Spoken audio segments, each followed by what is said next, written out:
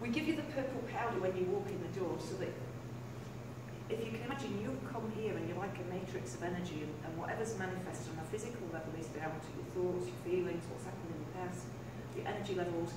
When we give you a highly concentrated superfood, it puts more energy into the system.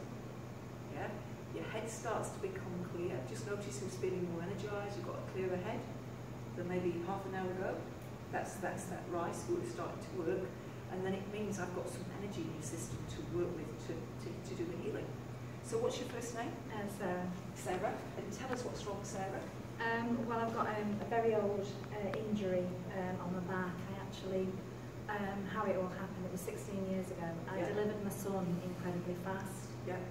And um, I've basically been told, I've had all the scans, everything, that I'll be facing going into a wheelchair because of the injury. Um, and and then uh, so I try and keep as active and keep everything going as much as I can. But when it locks out, yeah. everything goes out. So then I can't walk. Yeah. Some days I can't walk for four days.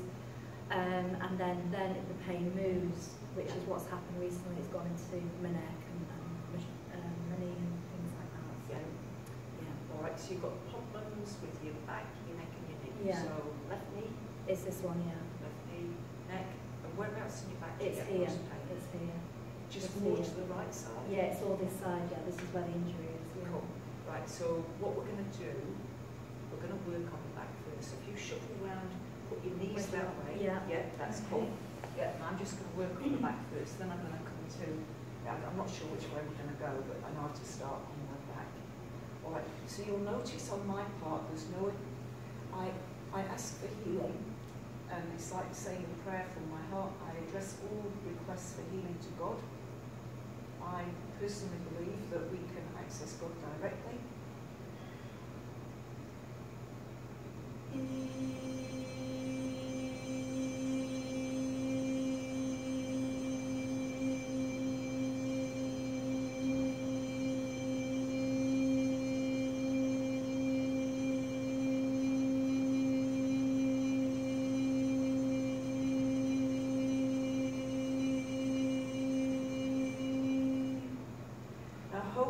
not just Sarah felt that vibrating. Did you all feel it? It's cool, isn't it? Yeah. So I've never had any on a physical level. I haven't had any training in sound. It's all been done entirely by spirit. They literally come in and they do what they need to do. Right, Sarah. They want you to just stand up and walk around and see how your back feels. Okay. Mm. Starting to feel free. Yeah, I, I felt it before. Yeah. Yeah, cool. Then Should shuffle I- on the chair, same position. Same again. position. Yeah, same Yeah, position again. So that, that first one's called, it's what's called a healing pass. And then they'll, as Sarah moves around, because you've got a lot of different vertebrae, muscles, ligaments that need to move, um, then they look at, okay, now what needs to happen, what's the next layer? And they work on you in, in layers, like layers of an onion. God bless. So all that's happened now is we've just got a changeover of surgeon. Okay. So what happened was the first healing pass was done by a spirit world doctor, and now what's happened is one of the surgeons has come in, and he's very, very precise. There's a little repair job that has to be done very, very accurately, and so rather than leaving that to the doctor, a surgeon stepped in, and you'll see the, the tiny, tiny movements that are happening. Now, if you like what you see tonight and you would like to learn this modality, I have got some workshops coming up. I've got one coming up in Leeds, weekend after next, and I've got one in Manchester, which is a bit closer to here, which is in August. And anybody can learn to heal. You won't be able to, at the end of two days, heal to the level I do. Remember, I've been doing it for 25 years, but everybody on the workshop usually gets their bodies moved. They might use, learn to use sound, uh, start seeing the colours of the aura. Everybody's different. But a reasonable expectation is that during the course of the weekend, you will learn how to sense spirit and start working with spirit. Okay, now some detailed work now around the vertebra. What's happening for you, Sarah? What can you feel happening? It just, it's weird actually. It just feels, um, it's a bit hard to explain really. but felt it before, like, um, it just seems really peaceful. Really and then, peaceful, Yeah, and yeah. then, um, and then it's not like I can feel anything, but I can feel something, you know what I mean? It, it's weird, it's, it's, it, it's not like manipulation, just something around. Yeah. Right, well, the surgeon that's working through me is called Dr. Augusto de Almeida. It's like the month of August with an O on the left end. Means of. Almeida is a place in Portugal where he was originally from when he was physically incarnate. Right, Sarah, now try moving around. Okay. Quite scared actually, because I know how bad my back gets. Not with me in the room. No, no, it's just I know what it's like. you know. Right, now what are the things you feel nervous about doing? Bending, stretching, squatting? It's just um, when I've got a bad episode, it's Yeah. not too bad at the moment, but when I do have a bad episode, Yeah. You know, like I say, it can be the extreme that I can't walk. Yeah. So, yeah. Right, so notice how your knee's feeling. How's the knee feeling?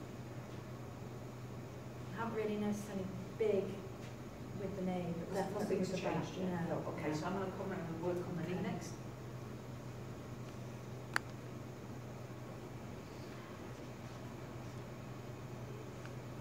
Now, as I work, I always observe how far away they place me.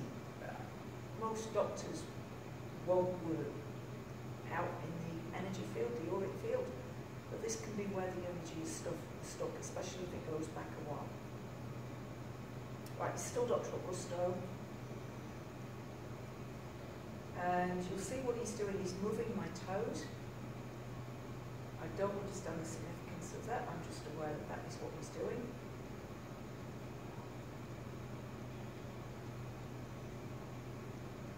Uh, one of the benefits of filming these uh, different healings is that people at home with the same or similar conditions can listen to the sounds, observe the healing, and also get some improvement in their conditions. That's what people are telling me. Right, now, what he's showing me with the knee is the knee's sort of gone to one side more than it should have done. Right,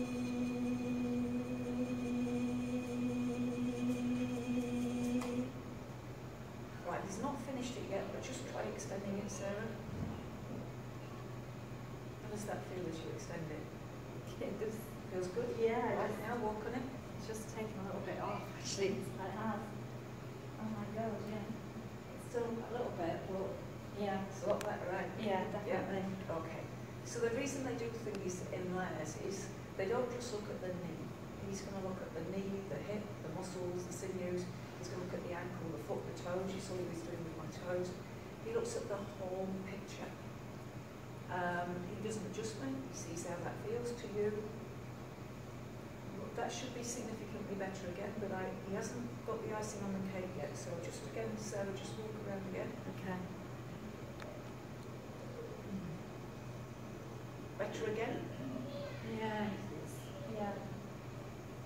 Cool. And now he's just got to do, it's, it's like a, it's like fine tuning to make sure he's got everything out, God bless. Yes. So basically guys, we're made of energy. We've got this physical body, it's our body. We don't own it, it's not a possession. It's made of the minerals of the earth. But inhabiting this body and the space around the body is you as an invisible being, the spirit. And what's happened is this lifetime you become too identified with these bodies. You've forgotten who you are spiritually. And as a spiritual being, you're capable of amazing, amazing things. And you've sort of just forgotten. And so the surgeons here are here to remind us of what we've forgotten. Now, this looks like an old, you know, a, a beer bottle cap in the knee. I don't understand why it should look like that. He's just shaking my leg to shake energy out of Sarah's knee.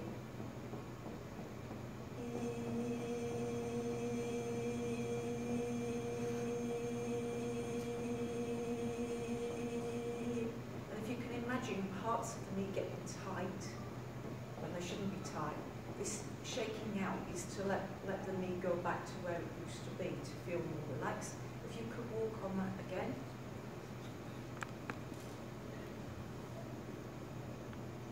How's that feeling? Yeah, there's still a little bit, but it's obviously a lot, lot better than it was, Yeah. definitely. Can Yeah. you relate to the, the me feeling relaxed now? Yeah, More relaxed I felt it was more in, like almost in the calves and then it was sort of moving up. Yeah. He's still got a little bit more work to do, so we'll just let him do what he's doing. He's working on hamstrings. So they, he will readily use my body uh, and move my body to see what needs to change in Sarah's body and then match the frequency of uh, my body to Sarah's so that Sarah's legs feel as good as mine do. All right, now he's got to strengthen, so he needs you to walk around again, please. Okay.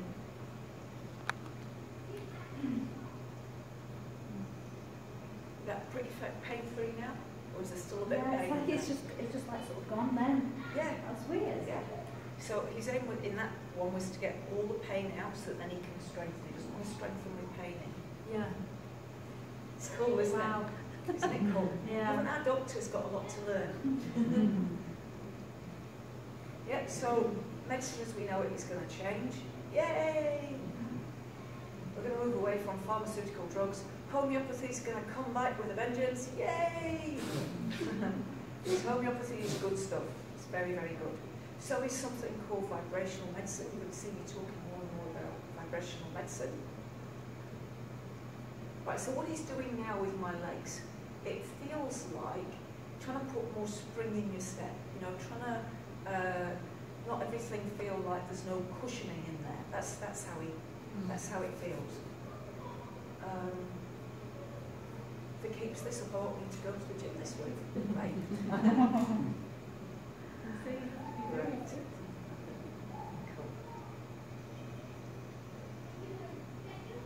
Right, yeah, he wants you to walk around Okay. and, yep, see how that feels. Nice. Yeah, a lot better. Yeah, cool. Yeah.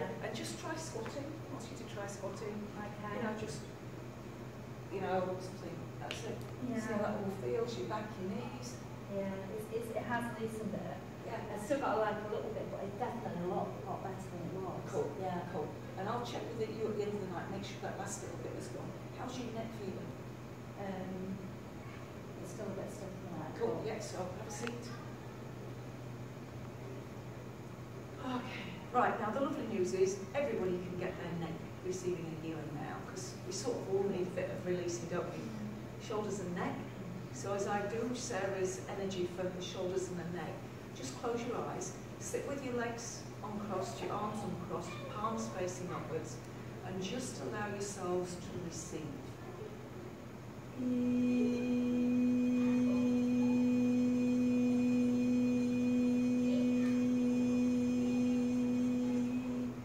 the teaching that the surgeon is giving me is that we as a species, we need to learn to receive. And one of the things that is getting in the way of our receiving is in our minds, our ego thinks we know what it is we want to experience. But God might be trying to give you something else because this other scenario is actually better for you. But you in your mind, you're not embracing what you're being given because you're holding out, waiting for that one thing that you think you want. So just recognize that if you're going to get good at receiving, you need to let go of all the ideas you have about what you think should happen. And let's look at it this way. Did your life turn out the way you expected? No, didn't it take some interesting twists and turns? I ended up in New Zealand. Ended up being a mum. I didn't know I was ever going to be a mum. And so if we want to get better at receiving, we have to let go of our ideas of what we think needs to happen.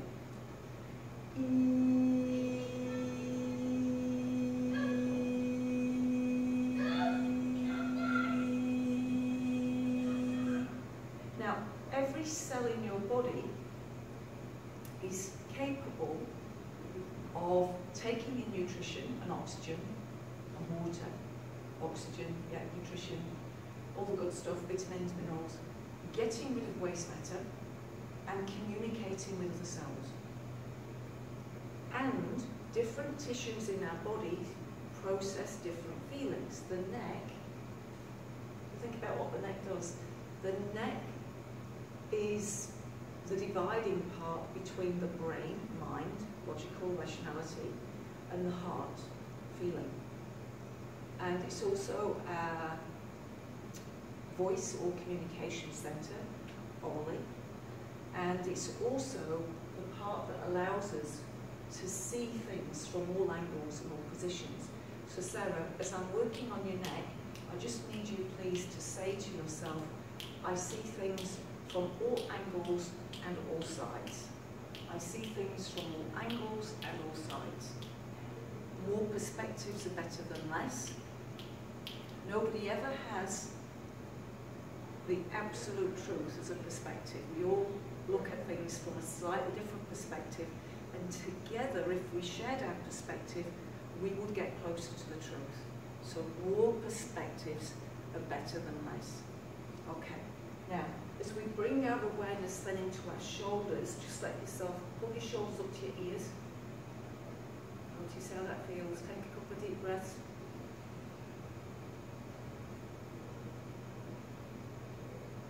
So when you're breathing in, you're breathing in oxygen, breathing out the carbon dioxide and the waste matter, roll the shoulders back. Do you know we forget to breathe? It's a good job it's done by our um, by automatic done automatically for us. But when it is done automatically for us, very often it's only shallow breathing. It's not the deep breathing that we really, really need. So just take a few moments just to notice what it's like to breathe. And if you want to breathe more deeply, push all the air out of your lungs. When you do that, your lungs will automatically refill. You feel your belly moving forwards. It's called soft belly breathing. If you try and get all the air in, it'll not work. But if you push all the air out, the lungs will automatically refill. Your lungs are like a pair of bellows. And it surprises me, very, very often I come across people, uh, asthmatics, and occasionally the doctor or nurse that doesn't understand the lungs are like bellows. You want to breathe deeply, get all the air out. Now, metaphysically, when we hold energy in our shoulders, it's responsibilities. We have been conditioned through this lifetime to, to feel responsible for others, even when we're not. Whether it's family members, friends, whether it's something big on a world scale. I am responsible for my thoughts, my actions, my speech. I'm not responsible for my partner's thoughts, actions, speech, how he feels. I'm not responsible for my children, how they act, speak, what they do, because my kids are grown up. I would be responsible if my children were little and like under my control in terms of I needed to feed them or put a roof over their heads.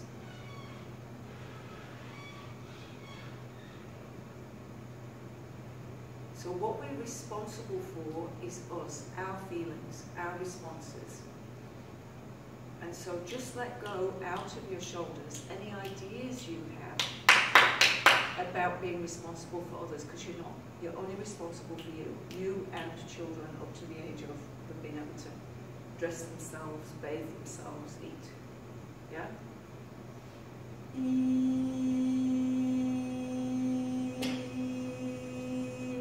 Notice how good it feels to know that you are not responsible for others. You're not responsible for their happiness. You're not responsible for what they say, what they look like, what they wear. You're only responsible for you. Really let that rest within you. I'm only responsible for me. Now, there are two things that we all need to do. Number one, we need to be here in this moment because this moment is all that truly exists. What we think of as the past is a previous now that we recall or not in this moment. And what we think of as the future is a mind projection of what may or may not happen. The only bit that's real is this moment. So bring all your awareness into the narrow gap that is this moment. It's the first thing you need to do. The second thing you need to do is just be you. That's all you've got to do, guys. You've got to bring your awareness into the now and then just be you. Make choices that are aligned with your heart. Choices that feel good for you, not just today, but longer term. Make choices that make you feel happier, more fulfilled, more settled, more peaceful. Move away from people and situations that make you feel stressed and anxious, tired, exhausted, and move towards people who make you feel good, people who support you being you. Cool. Notice how your shoulders feel again, notice how much lighter they feel. Right, we're going to see how Sarah's doing. How's that feeling? Yeah, good. Cool. Have a walk around, let's just check everything's still good, the back, the knee. Mm. A lot better. She looks a lot happier, doesn't she? yeah. Oh, gosh, thank you. Thank you very much.